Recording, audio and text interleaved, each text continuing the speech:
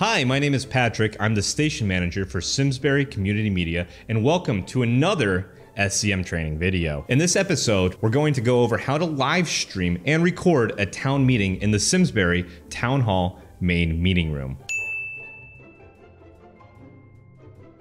It's a good idea to arrive at least 15 minutes to a half hour early before the meeting begins. This will leave time to work out any bugs that may occur when setting up. Enter using the door above the police station. If the door is locked, enter the code given to you by SCM staff on the keypad to the left of the door. After you enter the code, hit the star key.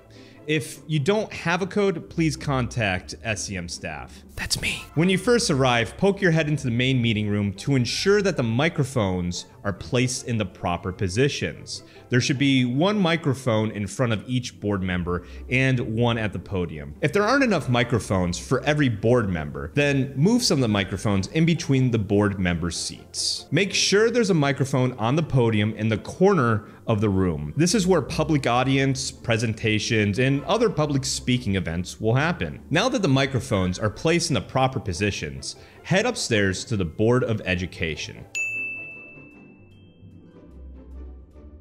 To get upstairs, enter your code in the keypad to unlock the door. If you don't have a code, please contact the station manager. That's me. Head to the closet, past the Board of Education meeting room. Here you'll find the PC used to operate the robotic cameras in the main meeting room. Under the monitor, there's a pull-out tray that holds a keyboard and mouse. Turn the knob to the left and unlock the tray and pull it out. From here, wiggle the mouse or press any key on the keyboard to wake up the computer. In order to record this meeting, you'll be using a program called vMix. This software allows you to switch between cameras when recording and live streaming events. Once you have access to the desktop, locate the vMix desktop icon. There will be a few of these templates on the desktop, so we want to pick the one labeled MMR, which is located in the middle of the screen. Double click on the icon. This will launch vMix and the companion PTZ camera software. Now that you have vMix open, let's go over the user interface. You might find it a bit intimidating at first, but don't worry. I'm here to help. On the top half of the screen, you'll see the video feeds. The camera feed on the left-hand side is the standby feed. This feed previews the selected camera inputs.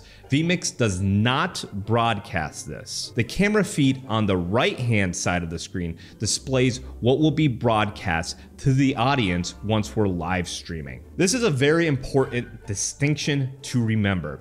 Down below these two screens, you'll see multiple boxes. These boxes are named Titles, Cam 1, Cam 2, Cam 3, MMR Projector, Credits, and starting soon. First, we're going to start by right clicking on titles. A gray box will appear. Left click on the title editor option. This will bring up a new window.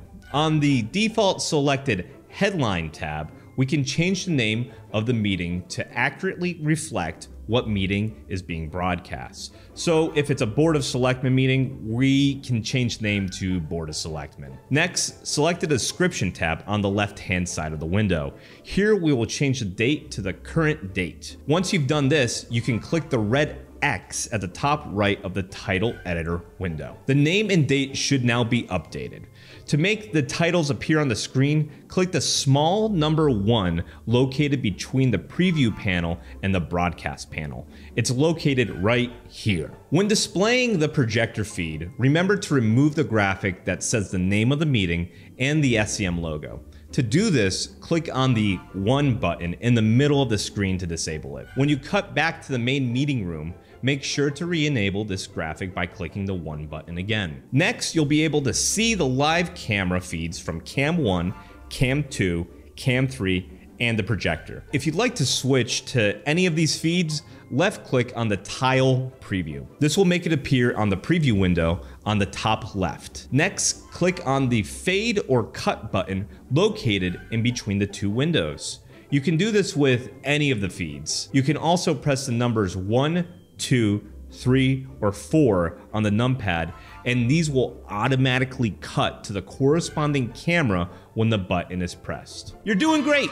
Give yourself a pat on the back. We start our recordings and live streams five minutes before the meeting begins. We air the live stream starting soon graphic during that time. Select the live stream starting soon title and click either fade or cut to push this to the broadcast window. On the very bottom of the vMix window, you'll see the buttons record and stream.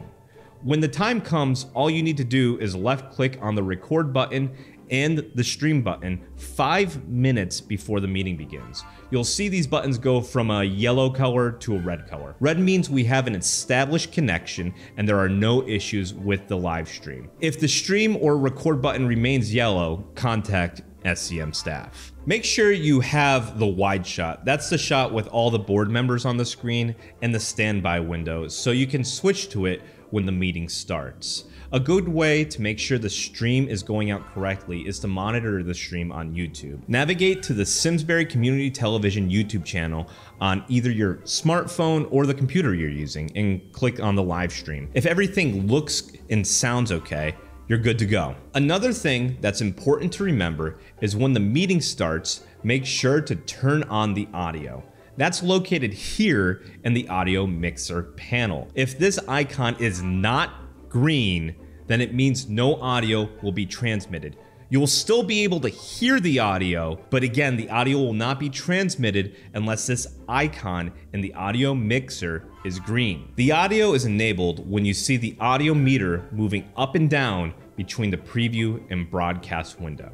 That's located right here in vMix. The meeting begins when you hear a board member running the meeting say something along the lines of, I call this meeting to order. This is when you want to fade from the stream starting soon graphic to the wide shot of the board members. Remember, if the audio sounds too loud for you, it may just be the computer volume. So don't immediately change the volume in the audio mixer. If the bars look normal height to you and they're all green and not yellow or red, but it's still too loud or quiet, then change the computer volume to your preference. Uh, you can do this by going to the audio icon in the bottom right of the Windows mixer tray, right clicking on that and pulling down the audio for vMix, and that should make it a little easier for you. Or you can use the remote on the television and just bring the audio down there. But if the audio levels are green in vMix, and they're not yellow and red, that means the audio is good. The meeting is over when it's adjourned or moves into executive session.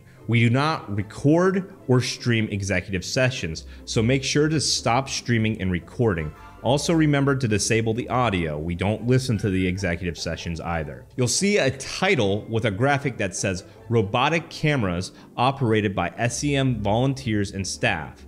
After turning off the audio, broadcast this graphic for a few seconds in order to credit yourself. To stop the stream, left click on the stream button on the bottom left hand of vMix. There will be a pop-up confirming that you'd like to end the stream. Click on yes. To stop the recording, left click on the record button again and confirm on the pop-up that you would like to end the recording.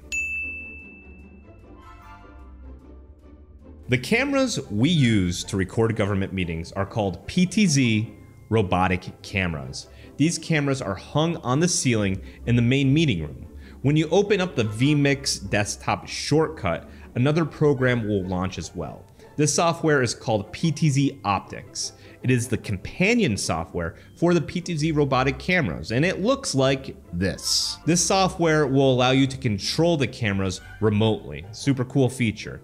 You'll be able to pan, tilt, zoom in, zoom out, and create presets for camera positions. In order to control a specific camera, select one of the following gray tabs on the top under the Select Camera portion. They are listed as MMR1, MMR2, and MMR3. On the top of the PTZ optics window, the camera numbers correspond to how they are listed in the vMix software. So MMR1 is Cam1 in the vMix software.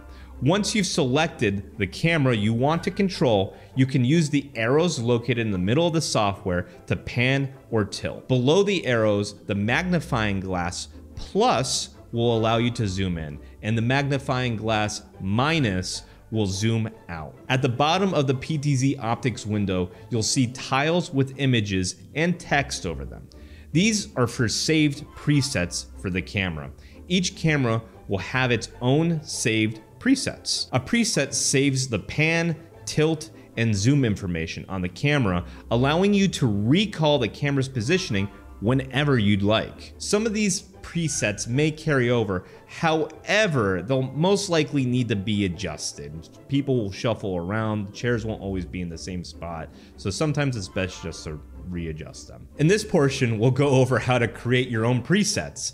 Our recommended preset list is a wide shot of the board members, dedicated podium shot, board chair close-up, and an audience wide shot. We recommend making a projector preset with the camera to act as a backup in case the projector feed fails. To make your own preset, select the camera you want to use on the PTZ software. Again, these are labeled MMR1, MMR2, and MMR3. These are the gray tabs located on the top of the PTZ software. Once the camera is selected, constitute your shot however you like using the pan and tilt arrows and the magnifying glass for zooming in and zooming out. Once you're happy with how your shot looks, left click on the set radial button located above the tiles on the lower portion of the PTZ optics window.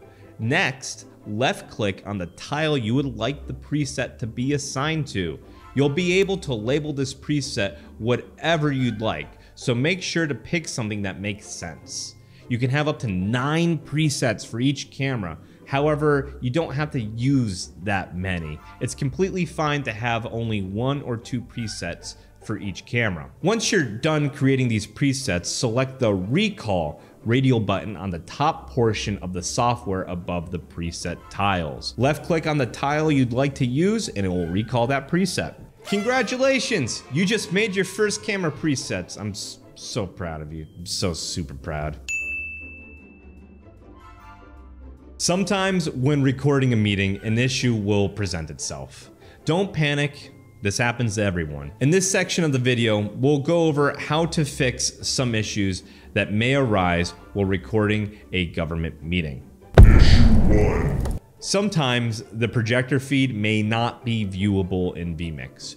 You'll be able to tell this is happening because the tile labeled MMR projector will be completely black. The fix for this is quick and easy, fortunately. Open Google Chrome. If you haven't used it before, this is what the desktop icon looks like. Once Google Chrome is opened, on the top of the screen, you'll see a bookmark titled MMR Projector. Left click on this. You'll be brought to a sign-in page for the projector device. To log in, left click where it says username. Then left click on the saved login information for admin once it pops up. This will autofill the username and password fields for you. Left click on sign in. Once you're logged in, left click on the admin tab located on the top right hand portion of the website window. Left click on reboot. This should reestablish the connection to the projector feed. Put the projector feed in the standby window and then click fade to broadcast it. Issue two. The live stream graphic is not looping.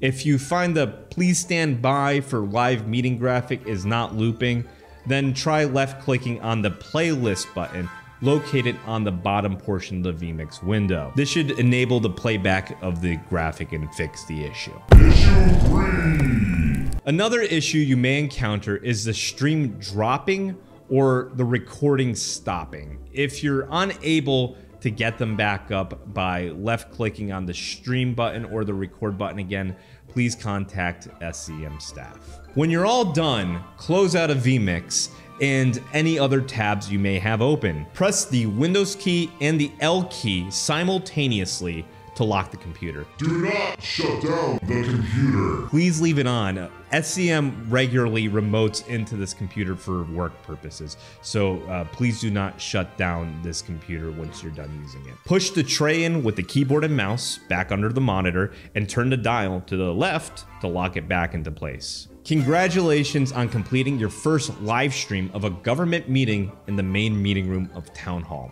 Thank you so much for being a volunteer. Hopefully, this answered any questions you may have had on the recording and live streaming process. If you're going to volunteer to cover a meeting or an event at another location, check out the videos linked in the description for tutorials on how to operate other SCM equipment. Thank you for watching, and I hope you learned something.